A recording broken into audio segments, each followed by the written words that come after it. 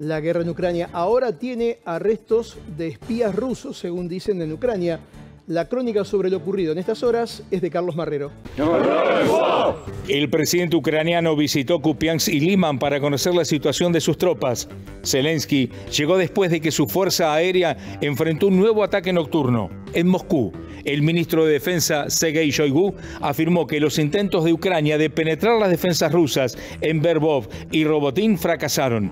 Shoigu afirmó además que Rusia repelió todos los embates en dirección a Soledar, Bakhmut en tanto que el Servicio de Seguridad de Ucrania detuvo en Mykolaiv a 13 personas y desarticuló a una de las mayores redes de espías rusos descubiertos en territorio ucraniano desde que comenzó la invasión.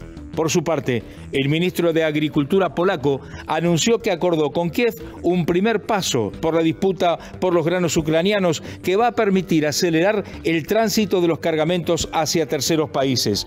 Polonia es además tránsito clave para el armamento que Estados Unidos y otros aliados occidentales remiten a Ucrania. Asimismo, Varsovia dio entrada a casi un millón de refugiados ucranianos que se benefician de diversas clases de ayuda estatal.